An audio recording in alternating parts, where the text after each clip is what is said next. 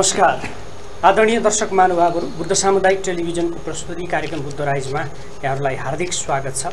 हामी हरेक दिन फरक फरक विषयवस्तु र अतिथिका साथमा यो कार्यक्रममा उपस्थित हुने गर्छौँ। आज हामी चर्चा गर्दैछौँ कि नेपालमा सञ्चार माध्यमहरू र ती सञ्चार माध्यमहरूमा कार्यरत श्रमजीवी पत्रकारहरूको अवस्थाका सन्दर्भमा कुराकानी गर्दैछौँ। यो विषयमा कुराकानी गर्नका लागि आज हाम्रो स्टुडियोमा अतिथिका रूपमा हुनुहुन्छ नेपाल सरकारले स्थापना गरेको न्यूनतम पारिश्रमिक निर्धारण समितिका अध्यक्ष गङ्गाधर पराजुली। यो कार्यक्रममा यहाँलाई हार्दिक स्वागत छ। धन्यवाद विक्रमजी। आरामै हुनुहुन्छ? आराम छु। झन्डै चार महिना भयो यहाँ यो समितिको अध्यक्ष बन्नुभएको छ। विभिन्न जिल्लाको दौडामा पनि हुनुहुन्छ। के रहेछ नेपाली सञ्चार माध्यम र त्यहाँ सञ्चारकर्मीहरूको समस्या र चुनौती चाहिँ के रहेछ? यहाँले मेरो कार्यकालको कुरा र अहिले देखिएका सञ्चार गृहको समस्या र सञ्चारकर्मीको समस्या र चुनौतीको कुरा गर्नुभन्दा पहिले म केही पृष्ठभूमि तपाईँलाई बताउन चाहन्छु। नेपालमा दुई हजार छयालिस सालको प्रजातान्त्रिक आन्दोलनभन्दा पहिले नेपालमा मिसन पत्रकारिता थियो। मिसन पत्रकारिता गर्नेहरूले त्यहाँ कुनै रोजीरोटीका लागि पेसाका लागि भन्दा पनि आफ्नो जीवनयापनका लागि भन्दा पनि एउटा मिसनका लागि मात्र यो पेसा अप्नाएका थिए। सञ्चार गृह अथवा सञ्चार प्रतिष्ठानहरू अत्यन्त कम थिए। तर त्यो बहुदलीय प्रजातन्त्र आयो दुई हजार छयालिस सालको प्रजातन्त्र पुनर्स्थापनापछि त्यसपछि सञ्चार क्षेत्रले विकासको फड्को मार्यो सञ्चार गृहको सङ्ख्या वात्तै बढ्यो। त्यसपछि सञ्चार गृहमा काम गर्ने सञ्चारकर्मी अथवा सब्जी पत्रकारको सङ्ख्या पनि वात्तै बढ्यो।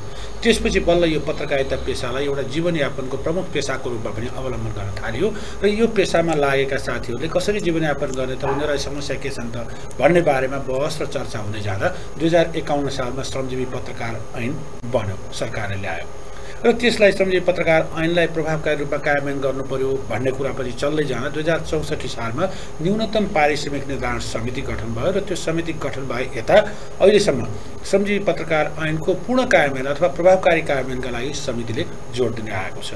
अन्त म चार महिना अध्यक्ष भएको कुरा गर्नुभन्दा पहिले मभन्दा अगाडि धेरैजना अध्यक्ष बन्नुभएको छ। डाक्टर सुरेश आचार्य डाक्टर महेन्द्र विष्ट गोविन्द आचार्य खेम भण्डारी पोषण केसीजीले यो समितिको नेतृत्व लिइसक्नु भएको छ र त्यसपछिको छैटौँ नम्बरमा म अध्यक्ष भएको छु। र मैले आएर पनि अहिले श्रमजीवी पत्रकार ऐनको पूर्ण र प्रभावकारी कार्यान्वयनका लागि के भइरहेको छ भन्ने बारेमा विभिन्न जिल्लाहरूमा जाने मिडिया अनुगमन गर्ने त्यहाँका सञ्चारकर्मी सञ्चार उद्यमी अथवा सञ्चालकहरू साथीहरू र श्रमजीवी पत्रकार साथीहरूसँग अन्तर्क्रिया गर्ने सुझाव सङ्कलन गर्ने त्यो कार्यलाई मैले पनि तीव्र पारेको छु। र एक किसिमले भन्दा तपाईँले समस्या र चुनौतीको कुरा गरिरहेर म आफै श्रमजीवी भएर काम गरेँ। दुई हजार उन्चास पचास सालदेखि मैले गोर्खापत्र दैनिक अथवा गोर्खापत्र संस्थान कान्तिपुर पब्लिकेसन्स नेपाल टेलिभिजन जस्ता सञ्चार गृहमा काम गरेँ श्रमजीवीको रूपमा र त्यसपछि म आफैले सञ्चार गृहहरू सञ्चार गरेँ। त्यसैले सञ्चालकको रूपमा पनि मैले सबै कुरा बुझेको पनि छु। तर अहिले जिल्लामा जाँदा मैले बुझेको भन्दा धेरै फरक छैन। ती समस्या वर्षौँदेखि यावत रूपमा तिनै समस्याको रूपमा रहेका छन्। तिनै समस्यालाई समाधान गर्नको लागि के गर्न सकिन्छ भनेर अहिले हामीले आवाज उठाइरहेका छौँ लबिङ गरिरहेका छौँ र यो ऐनमा के के छ त पत्रकारका लागि व्यवस्था कामदार कर्मचारीका लागि व्यवस्था त्यो बारेमा पनि एक किसिमको जागरण ल्याउने काम पनि गरिरहेका छौँ। अहिले विक्रमजी। अब यो यो समिति बनिसके पछाडि यहाँले अघि जति अध्यक्षहरूको नाम भन्नुभयो सबै पत्रकारिता क्षेत्रमा खारिएका विज्ञ व्यक्तित्व हुनुहुन्थ्यो। निकै लामो सङ्घर्षपछि नै यो एन पनि आएको होइन। यसको पूर्ण कार्यान्वयनका लागि अब यो समितिलाई मात्रै जिम्मा छोडिदिएर हुन्छ कि अब यसका अरू स्टेक होल्डरहरूको सक्रियता क्रियाशीलता आवश्यक देखिन्छ। श्रमजीवी पत्रकार ऐनको प्रभावकारी कार्यान्वयनका लागि समितिले लबिङ त गर्दै आएको छ। समितिले प्रेसर पनि गरिरहेको छ। अहिले मै म अध्यक्ष भएर आएपछि चार महिनाको पिरियडमा पनि हामीले सरकार समक्ष गर्नुपर्ने कुराहरू सञ्चार तथा सूचना प्रविधि मन्त्रालय मार्फत र अन्य निकायमा गर्नुपर्ने कुराहरू पनि त्यही अनुसार गरिरहेका छौँ। त्योभन्दा अगाडिका अध्यक्षहरू अथवा समितिले पनि त्यो कामलाई तीव्रता दिएको नै हो। त्यसैले गर्दा ऐनको कार्यान्वयनमा केही सुधार त देखिएको छ पहिलेको भन्दा। तर के भने समस्या अझै पनि जटिल छन्। तपाईँलाई जानकारी गराउँ यो ऐनको प्रभावकारी कार्यान्वयनका लागि राज्यको अथवा सरकारको दायित्व त प्रमुख हुन्छ त्यो बाहेक समितिले पनि आफ्नो काम गरिरहेको छ। त्यसबाहेक जो सञ्चार क्षेत्रसँग सम्बन्धित व्यक्तित्वहरू हुनुहुन्छ कुनै सञ्चार प्रतिष्ठानमा काम गर्ने श्रमजीवी पत्रकारको कुरा गरौँ अथवा कामदार कर्मचारीको कुरा गरौँ र त्यो सञ्चालन गर्ने सञ्चालक अथवा व्यवस्थापकको कुरा गरौँ उहाँहरूको भूमिका अझ बढी प्रभावकारी हुन्छ।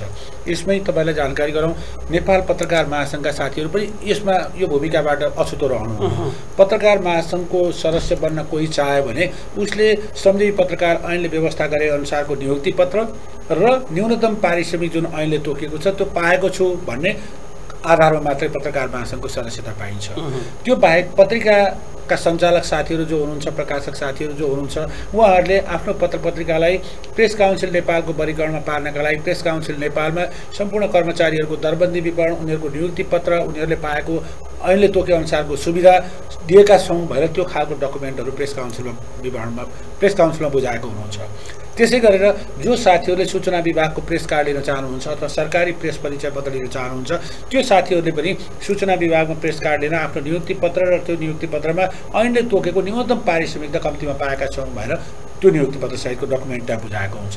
त्यो बाहेक विभिन्न रेडियो र टेलिभिजन सञ्चारमा छन् अहिले मुलुकभर ठुलो सङ्ख्यामा अहिले एक सयभन्दा बढी टेलिभिजन च्यानल छन् झन्डै सात सयको सङ्ख्यामा रेडियोहरू सञ्चारमा छन् एफएम रेडियोहरू। तिनीहरूले पनि भलै वर्षको एकपटक लोक कल्याणकारी विज्ञापन बापतको रकम राज्यबाट पाउँछन् र त्यो लिनका लागि सञ्चार तथा सूचना प्रविधि राज्य मन्त्रालयमा उनीहरूले त्यो डकुमेन्ट बुझाउँछन् कि आफ्नो लेखा परीक्षण प्रतिवेदन सहितको र आफ्नो कर्मचारी दरबन्दी विवरण सहितको र उनीहरूलाई दिएको नियुक्ति पत्र सहितको। त्यसैले गर्दा डकुमेन्टको हिसाबले हेर्ने हो भने काठमाडौँमा बसेर हेर्दा सबै आम पत्रकार साथीहरू जस्तो पत्रकार महासङ्घको अहिले तेह्र हजारभन्दा बढी छ। ती सबैले सब्जी पत्रकारहरूले तोकेको पारिश्रमिक पाएका छन् नियुक्ति पत्र पाएका छन् भन्ने डकुमेन्टमा देखिन्छ। डकुमेन्टले त्यही बोल्छ। डकुमेन्टले त्यही बोल्छ। सरकारी निकायमा सञ्चार मन्त्रालयमा जानुहोस् प्रेस काउन्सिलमा जानुहोस् सूचना विभागमा जानुहोस् अथवा पत्रकार महासङ्घमा जानुहोस् डकुमेन्टले त्यो बोल्छ। तर हामी व्यवहारमा त्यो पाएका छैनौँ। म जिल्लामा जाँदा अरू साथीभाइ हाम्रो समितिको साथीहरू जिल्लामा जाँदा यो अवस्था देखिँदैन। धेरै पीडाका कुरा धेरै वेदनाका कुरा एकदमै शोषणमा परेका कुराहरू पनि साथीहरूले गर्नुहुन्छ। त्यसैले यो समाधानका लागि त श्रमजीवी पत्रकार भनौँ अथवा पत्रकारिता क्षेत्रमा लाग्ने सञ्चारकर्मी साथीहरू कामदार कर्मचारी साथीहरू र सञ्चालक अथवा व्यवस्थापक साथीहरू जो मिडिया उद्यमीको रूपमा हामी चिन्छौँ उहाँ साथीहरूले जिम्मेवार भइदिनु भयो भने ऐनको प्रभावकारी कार्यान्वयनमा ठुलो बल पुग्छ। र यदि कसैले त्यो ऐनको कार्यान्वयन गरेन न्यूनतम पारिश्रमिक दिएर नियुक्ति पत्र नदिइकन काममा लगायो भने त्यति बेला राज्यको भूमिका प्रभावकारी बन्नुपर्छ। नेपाल सरकारले प्रेस रजिस्ट्रार भनेर सूचना विभागको महानिर्देशकलाई तोकेको हुन्छ। उहाँ नेपाल सरकारको सहसचिव लेभलको अहिले प्रेस रजिस्ट्रार हुनुहुन्छ र त्यो प्रेस रजिस्ट्रार अथवा सहसचिव लेभलको सूचना विभागको महानिर्देशक यो न्यूनतम पारिश्रमिक निर्धारण समिति अथवा म अध्यक्ष रहेको समितिको सदस्य सचिव पनि हो। हामी छलफल गर्छौँ बारम्बार। त्यस्तो बेलामा प्रेस रजिस्ट्रार अथवा सरकारले तोकेको जुन व्यक्तित्व हो उहाँले कारवाही गर्न सक्ने अधिकार हुनुपर्ने तर उहाँलाई पनि एकदमै न्यूनतम अधिकार छ। बोलाउने मध्यस्थता गर्ने अथवा संवाद गर्ने र सोल्युसन गर्ने भन्ने मात्रै छ। कारवाहीको कुरा त्यति धेरै छैन। त्यसैले गर्दा कतिपय सञ्चारगृहले इन्टेन्सनल्ली आफ्ना सञ्चारगृहमा काम गर्ने पत्रकार र कामदार कर्मचारीलाई नियुक्ति पत्र नदिने पारिश्रमिक नदिने त्यस्ता घटनाहरू पनि देखिएका छन्। तर अब सरकारले अलिक प्रभावकारी बनाउनुपर्छ। जस्तो लोक कल्याणकारी बा विज्ञापन बापत जुन रकम पाएको छ त्यो रोकिदिनुपर्छ। उनीहरूलाई कुनै किसिमको अरू समानुपातिक विज्ञापन प्रणाली अथवा बाट अथवा राज्यले दिने अरू विज्ञापन प्रणालीमा समावेश गराउनु हुँदैन।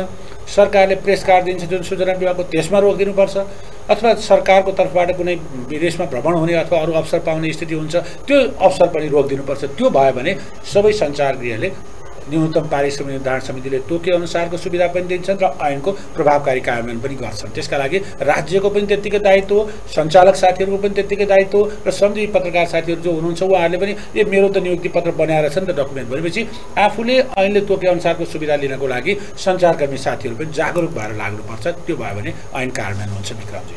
अब यो जुन अहिले यहाँ अध्यक्ष भइसके पछाडि एउटा जुन न्यूनतम तलब मान छ त्यसको वृद्धिका विषयमा देशैभरि चर्चा छ होइन।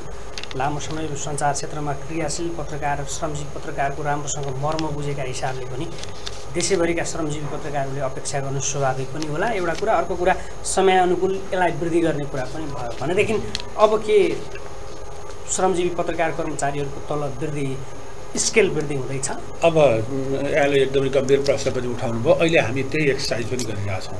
तपाईँलाई थाहा छ दुई हजार बहत्तर सालको असारमा तत्कालीन समितिले नेपाल सरकारलाई सिफारिस गर्यो।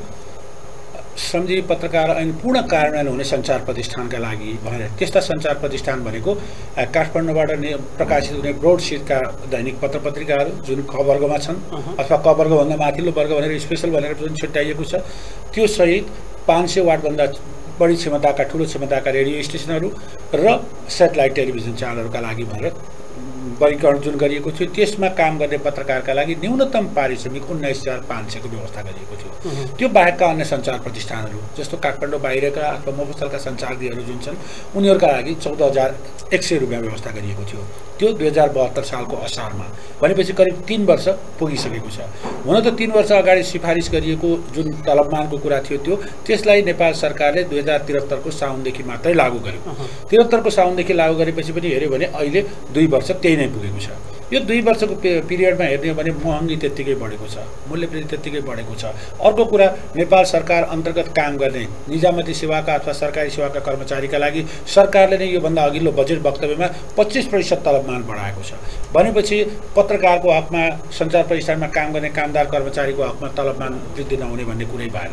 वृद्धि गर्नुपर्छ त्यही अभियानमा हामी लागिरहेछौँ। यी विभिन्न कारणले गर्दा र त्यसका लागि डाक्टर सुरेश आचार्य यो समितिको पूर्व अध्यक्ष पनि हुनुहुन्छ र पत्रकार महासङ्घको पूर्व अध्यक्ष पनि हुनुहुन्छ। उहाँको संयोजकत्वमा तिन सदस्य एउटा कार्यदल पनि यो समितिको बैठकले गरिसकेका छ। अहिले उहाँहरू त्यही एक्ससाइजमा हुनुहुन्छ।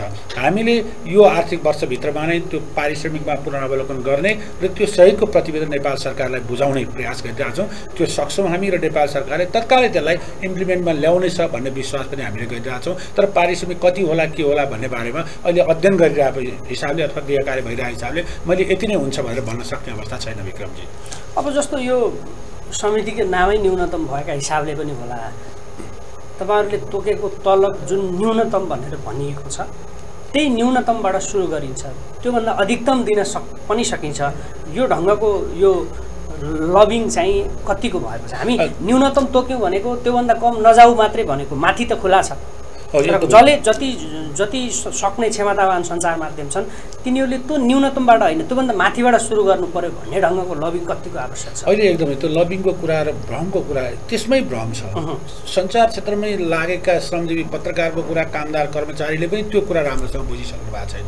भने बाहिर आम नागरिकले त बुझ्ने कुरै भएन। त्यो हेर्दा के भने ए पत्रकारको तलब त उन्नाइस हजार पाँच सय मात्रै रहेछ अथवा चौध हजार एक सय मात्रै रहेछ त्यो भएपछि कसरी यसले जीवनयापन गर्छ भन्ने खालका प्रश्नहरू नागरिक स्तरबाट उठ्ने गरेका छन् त्यो पत्रकारको सामाजिक जीवनमा पनि प्रश्न उठायो यसले एकदमै।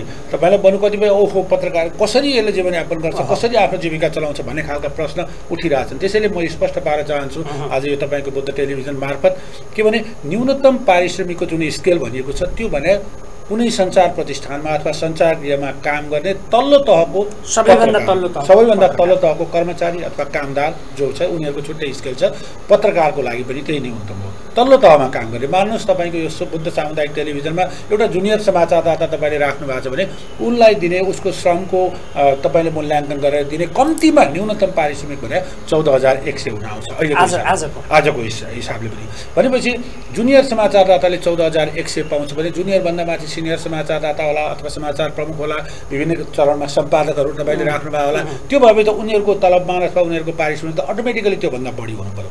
फेरि त्यो पारिश्रमिक जुन न्यूनतम पारिश्रमिक गरिएको छ त्यो बेसिक स्केल हो हामीले ऐनले व्याख्या गरेको अथवा समितिले सिफारिस गरेको। त्यो बेसिक स्केलमा तपाईँले अन्य किसिमका भत्ताहरू दिन सक्नुहुन्छ। यातायातका कुरा टेलिफोन अथवा सञ्चारका कुरा अथवा अन्य किसिमका सुविधाका कुरा त्यो दिन त उसको त अटोमेटिकली त्योभन्दा बढी हुन्छ। त्यसैले यो न्यूनतम पारिश्रमिक यति चाहिँ दिनैपर्छ कम्तीमा त्योभन्दा बढी जति दिए पनि हुन्छ है। भन्ने हो। अहिले पनि विभिन्न सञ्चार प्रतिष्ठानको कुरा गर्ने हो भने त एक डेढ लाख रुपियाँ दुई लाख रुपियाँ तलब लिने साथीहरू पनि सञ्चार क्षेत्रमा हुनुहुन्छ नि विभिन्न प्रतिष्ठानमा। तर के भने त्यो तलबमान दिनका लागि सञ्चार प्रतिष्ठानले पनि त्यही अनुसारको काममा लगाउन सक्नु पर्यो। जति समय तोकिएको छ जस्तो नियुक्ति पत्र हामीले दिनुपर्छ भनेका छौँ नि काममा लगाउने बित्तिकै त्यो नियुक्ति पत्रमा उसले उसको नामको कुरा उल्लेख हुनु पर्यो। के नाम हो?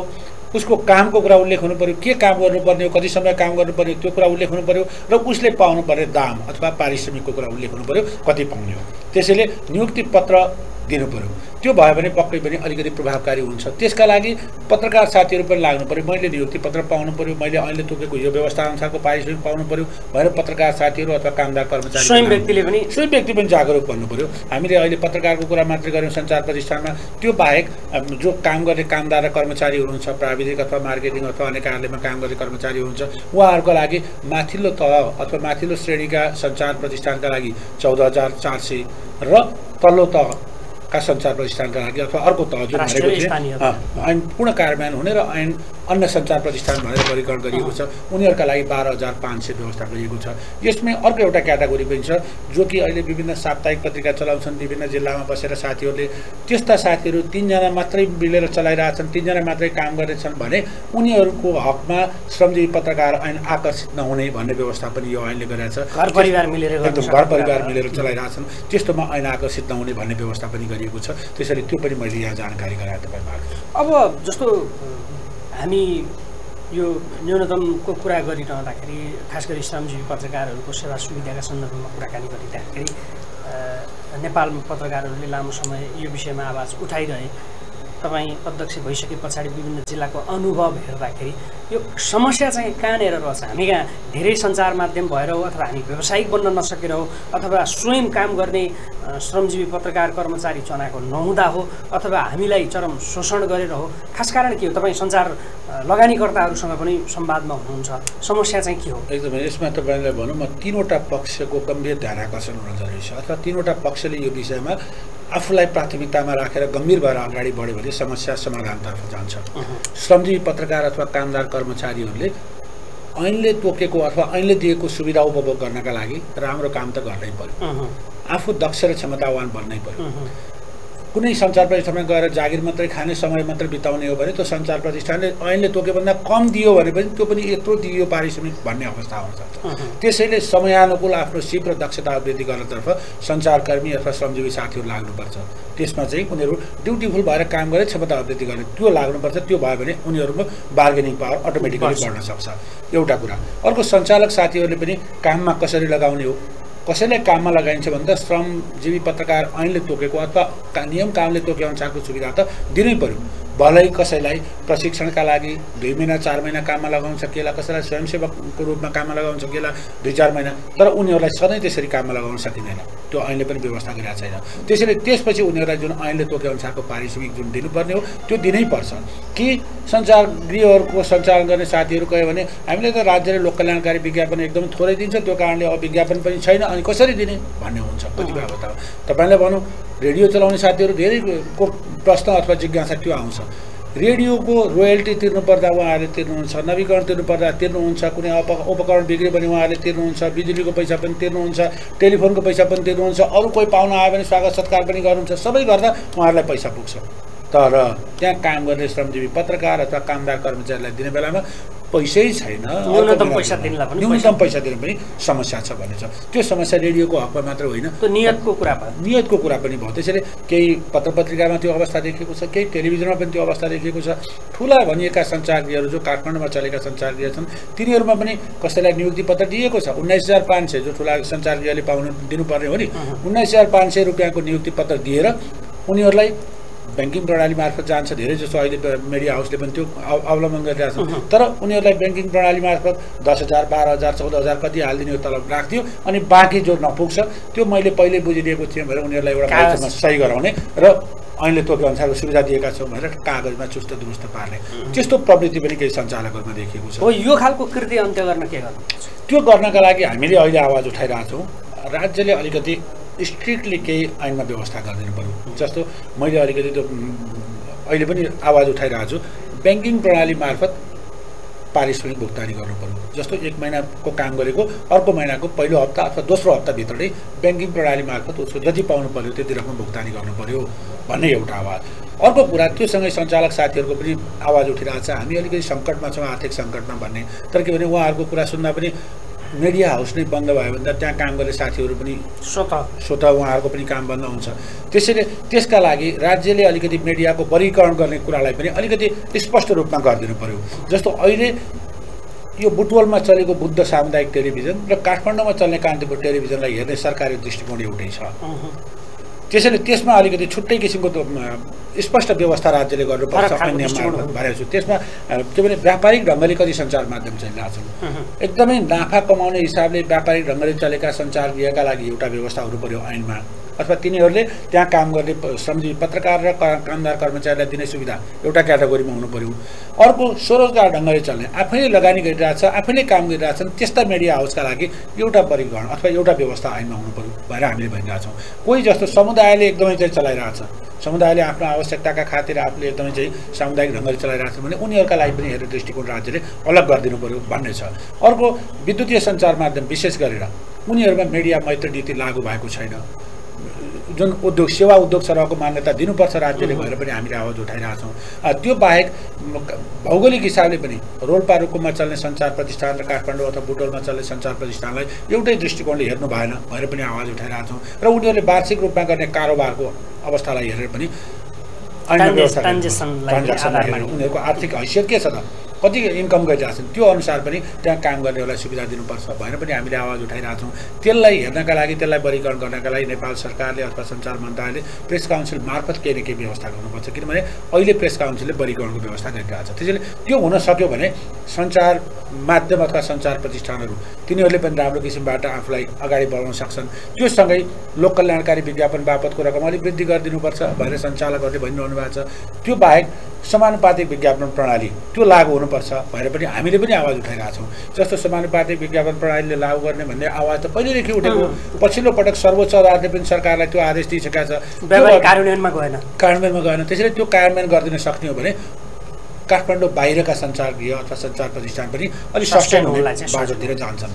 त्यसका लागि जस्तो अहिले त तिन तहको सरकार छ केन्द्रीय सरकार प्रदेश सरकार र स्थानीय तहको सरकार छ। प्रदेश सरकार स्थानीय तहले पनि आफ्नै मिडिया सञ्चालन गर्न पाउने भन्ने नीति पनि आएको छ। त्यस्तो अवस्थामा अहिले चलिरहेका मिडियामा अझ सङ्कट बढ्न सक्छ। त्यसैले स्थानीय तहमा काम गर्ने साथीहरू अथवा स्थानीय जिल्ला तहमा रहेका साथीहरू पत्रकार महासङ्घ अथवा मिडियाका सञ्चालक साथीहरू अथवा प्रदेश तहमा अलिकति त्यस्तो पोजिसनमा भएका साथीहरूले पनि प्रदेश सरकार र स्थानीय तहलाई त्यही किसिमबाट लबिङ गर्नु पऱ्यो तपाईँहरूले मिडिया चलाउने होइन। तपाईँको कार्यक्रम चलाउने हो तर के भने कार्यक्रम दिनुहोस् टेलिभिजन हामी रेडियोले चलाउँछौँ बरु पैसा दिनुहोस् भन्ने त्यसरी गर्नु पऱ्यो र त्यो समानुपातिक विज्ञापन प्रणालीको कुरा आफ्नै तहको सरकार मार्फत लागू गराउन सकियो भने पनि धेरै बल पुग्छ मिडिया सस्टेन गर्नका लागि मिडियालाई फाइनेन्सियली स्ट्रङ गर्नका लागि। त्यसरी मिडिया आर्थिक हिसाबले पनि सम्पन्न भयो भने अझ यो ऐनको प्रभावकारी कार्यान्वयनमा बल पुग्छ विक्रमजी। अब हामी कार्यक्रमको अन्त्यमा छौँ। अन्त्यमा जस्तो यहाँले भनेको कुरा सारमा चाहिँ एकातर्फ यो न्यूनतमले तोकेको तलब स्केल फुल फेजमा कार्यान्वयन गर्ने हो भने कतिपय सञ्चार संस्था अस्तित्वमा नरहने एउटा डर अर्कोतर्फ चाहिँ कार्यान्वयन नगर्ने हो भने नेपाली श्रमजीवी पत्रकारहरूको अवस्था दिनानुदिन झनपछि झन् दयनीय हुने स्थिति भनेको यो दुईवटा जुन समस्याका बिचमा यहाँ अध्यक्ष हुनुहुन्छ यो समितिले आफ्नो कार्यकालमा दुवै पक्षलाई सँगसँगै लिएर जानु पऱ्यो दुइटैको अस्तित्व रक्षाका लागि चाहिँ यहाँको योजना अब के हुन्छ र कसरी अगाडि बढ्नुहुन्छ? एकदम विक्रमजी यही दोहोरो चेपुवामा अथवा दोहोरो मार्गमा सञ्चार गृह र त्यहाँ काम गर्ने श्रमजीवीहरू छन्। त्यसैले यो समितिको क्षेत्राधिकारको कुरा अथवा कार्यक्षेत्रको कुरा अधिकारको कुरा गर्ने भने समितिले अब श्रमजीवीहरूको पारिश्रमिकमा पुनरावलोकन गर्ने गृह कार्य सुरु गरिसकेका छ। त्यसैले पारिश्रमिक नबढ्ने भन्ने कुरा भएन बढ्छ। तर कति बढ्छ त्यो मैले अगाडि पनि भने कार्यदल बनाएको छौँ अब विज्ञानसँग छलफल गरेर अरू सञ्चालक बढ्छ। त्यो छिटै नै हामी त्यो तयारीमा छौँ। तर त्यो बढाउँदा मिडियालाई पनि केही न केही अप्ठ्यारो त पर्छ। असहज अवस्था छ तपाईँ हामी सञ्चार सञ्चार गृहसँग सम्बद्ध व्यक्तित्वहरू त्यसैले मिडिया हाउस बन्द नहुन् त्यो कारणले मात्रै भन्ने हाम्रो धारणा हो सोचाइ हो। त्यसका लागि सरकारले के के गरिदिनुपर्छ भनेर सरकारलाई हामी सुझाव दिन्छौँ। र त्यो इम्प्लिमेन्ट गर्ने त्यो कार्यान्वयनमा ल्याइदिने भने सरकारले नै हो। त्यसैले सरकारले मिडिया मैत्री नीति अलि राम्रो ल्याइदिनु पऱ्यो मिडिया उद्योगहरूलाई सस्टेन गर्ने खालको नीति सरकारले ल्याइदिनु पऱ्यो हामी बरु एक दुई तिन चार गरेर यो यो गरिदिनु पऱ्यो सरकारले भनेर त्यो सुझाव चाहिँ सरकारलाई दिन्छौँ र पारिश्रमिक पुनरावलोकन गर्न पनि हामी अगाडि बढ्छौँ। त्यसका लागि सबै किसिमका तयारी गरिरहेका छौँ। मलाई आशा छ विश्वास छ। अहिले म देशभरका विभिन्न जिल्लाहरूमा पुग्दा प्रदेश लेभलका साथीभाइसँग कुरा गर्दा श्रमजीवी पत्रकारसँग अथवा कामदार कर्मचारीसँग पत्रकार महासङ्घ लगायतका विभिन्न स्टेक होल्डरहरूसँग कुरा गर्दा पनि पारिश्रमिकको पुनरावलोकन गर्नुपर्छ बढाउनुपर्छ भनेर आवाज उठेको छ। ठुला सञ्चार गृहमा काम गर्ने साथीहरू त म अध्यक्षमा नियुक्ति भएर आएको तत्कालै तपाईँले अब तुरन्त पारिश्रमिक बढाइदिनु पऱ्यो हामी मिडियामा चाहिँ कलेक्टिभ बार्गेनिङको हिसाबले अथवा सामूहिक सौदाबाजीको हिसाबले पनि हामी कार्यान्वयनमा ल्याउँछौँ भन्नुभएको थियो। त्यसैले त्यो अभियानमा म पनि लागिरहेको छु। तर त्यो पारिश्रमिक बढाउँदा फेरि अरू सञ्चार गृहको समस्यालाई सम्बोधन नगर्ने भन्ने कुरा होइन। त्यसका लागि सञ्चार गृहका समस्यालाई सम्बोधन गर्न मलाई आशा छ विश्वास छ। योभन्दा अगाडि सरकार पनि के भने बहुमत प्राप्त अलि स्थायी सरकार थिएन। अहिले बहुमत प्राप्त स्थायी सरकार बनेको छ। फेरि सञ्चार राज्य मन्त्री जो हुन्छ गोकुल बास्कोटा उहाँ पत्रकारिता क्षेत्रको मूल प्रभावबाट राजनीतिको मूल प्रभावमा पुग्नुभयो र उहाँको पालामा पनि यी समस्या सम्बोधन हुन सकेनन् भने हामीले कोसँग अपेक्षा गर्ने त? त्यसैले मलाई आशा छ विश्वास छ सञ्चार राज्य मन्त्री पनि पोजिटिभ हुनुहोला सरकार पोजिटिभ हुन्छ र पत्रकार महासङ्घ लगायतका स्टेक होल्डरहरू जो छौँ हामी सबै यो विषयमा एकदमै पोजिटिभ भएर अगाडि बढ्छौँ र यो समस्या समाधानमा बल पुग्छ विक्रमजी। भनेपछि विकल्पसहित ती सञ्चार माध्यमहरूलाई पनि चिरस्थायी बनाउने र तलब वृद्धि गर्ने यहाँको अभियानमा सफलता मिलोस् व्यस्त समयका बावजुद हाम्रो स्टुडियोसम्म आइदिनु भयो समय र सम्वादका लागि यहाँलाई धेरै धेरै धन्यवाद। एकदम धन्यवाद विक्रमजी। तपाईँले पनि म बुटवलमा आएको मौकामा बोलाएर आफ्नो बुद्ध सामुदायिक टेलिभिजनमा बोलाएर स्वागत गर्नुभयो सम्मान गर्नुभयो। तपाईँसहित विष्णु भूषालजी जो टेलिभिजनको प्रमुख व्यक्तित्व पनि हुनुहुन्छ। उहाँसहित यो टेलिभिजनका सम्पूर्ण परिवारप्रति आभार प्रकट गर्न चाहन्छु। मेरा कुरा न्यूनतम पारिश्रमिक निर्धारण समितिका कुरा र आम श्रमजीवी र आम सञ्चालकहरूका समस्याका बारेमा जे बुझेको थिएँ त्यो राख्न पाएँ आम दर्शक समक्ष पुर्याइदिनु भयो त्यसका लागि तपाईँ तपाईँको टेलिभिजन परिवार र आम दर्शकहरू माझ पनि म आभार प्रकट गर्न चाहन्छु। धन्यवाद। धन्यवाद। आदरणीय दर्शक महानुभावहरू हामी कुराकानी गर्दैथ्यौँ न्यूनतम पारिश्रमिक निर्धारण समितिका अध्यक्ष गङ्गाधर पराजुली उहाँसँग गरिएको यो संवाद सँगसँगै कार्यक्रमको सम्पूर्ण युनिटलाई आज्ञा दिनुहोस्। नमस्ते।